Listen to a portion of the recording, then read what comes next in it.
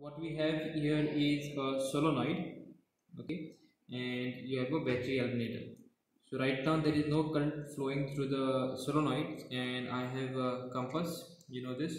And if you see right now it is pointing in one direction. And if I bring this compass now close to the coil close to the coil uh, there is no deflection right? I'm trying to put it inside the solenoid and you can see there is no deflection? Let me put it inside from here. Yeah there is no deflection right? Okay so uh, let's look at the solenoid. I've purposely kept space so that i can put the compass right? Let's look at how it is connected. It is connected to the positive side. Uh, one end is connected to the positive of the battery eliminator. You know what's a battery eliminator right now okay and so which end go let's see this is the end which goes to the positive positive positive and positive. All right so okay so uh, this end goes to the positive end and let's look at the winding how it is done. It the current will go this direction. The current will go in this direction. So for you the current will be going in the anti-clockwise direction. So let's use a right hand thumb rule. All right right here let's use a right hand thumb rule. So how does it go? Hold your fingers and you have your thumb and let's point in the direction so let's point the thumb in the direction of the current. So how is the direction of the current? Here is your positive. Current goes like this over here. So current is going here like this. So all these places your direction of the magnetic field will be curled out like this correct? And when it comes over here what will happen? See what will happen? This will be current is going this direction. So field will come out. So field will come out like this all right then the again the uh, current is gone down current is gone down like this.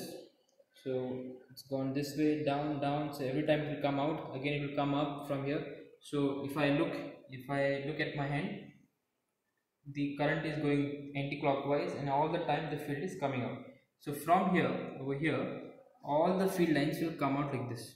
Field will come out and they will go back into the other side of the coil alright? So if the field is coming out from here if the magnetic field is coming out from here what pole should be here? It should be the north pole.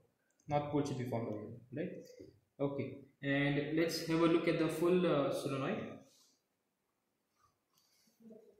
Okay so this is the coil. It goes in this direction. Have a look. There is spacing and this has a very fine coating which you might not be exactly able to see it very clearly but there is fine coating. We have kept some space doesn't matter. I have kept some extra space here just to put in the compass all right and this is the other end of the coil where over here now if i look at if i look over here uh, since the current was flowing in this direction what will happen? Current is flowing in this direction right? Current is flowing like this. Let me uh, start from here. So positive so current is gone like this. So this is negative. So current is going in this one direction? Correct? So let's come at this side of the coil. Over here the current is going back to the battery eliminator so the current is going back. So it is from this angle it is like this. So when I come on this side of the coil what do I see? Is the direction the current is now this way. Correct? The direction the current is going out like this. So what is this direction for you? For you the direction is clockwise direction. So what will happen? Now if I use my right hand thumb rule what will happen for the coil the current is going this direction. So all the field will go inside the solenoid alright?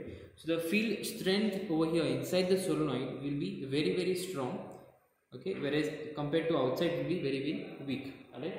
So now let's switch on the experiment and let's see what happens. So um, let's switch on. Right now when I place the compass at the side of the uh, solenoid I don't see any deflection and I'll uh, switch on my battery eliminator alright? Okay. So here we go. You see a very slight deflection it's slightly moved correct? Let me switch it off. Okay let me put the compass the other side of the solenoid. Okay and let me just wait for it to stabilize it and then let me switch on.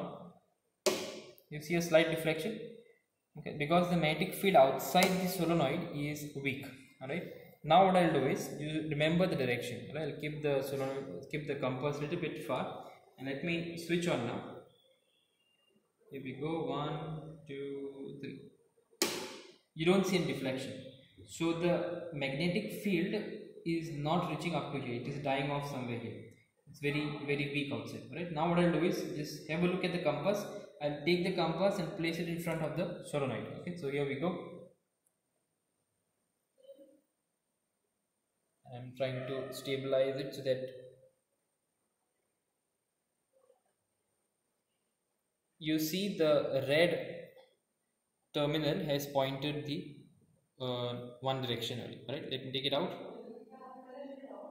And the deflection comes up okay now if i let me take this compass on the other side of the solenoid and see what happens. Right here we go. So here the field was coming out. So let me go in and you can see it's completely gone the other side. Correct?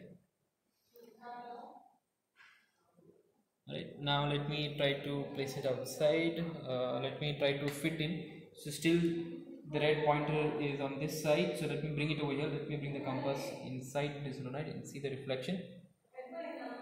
Yeah. so if you see it all times whether I place it at this corner or I place it at this corner or I bring it at the center the red dot is always pointing one direction. That means all the field lines are pointing in one direction only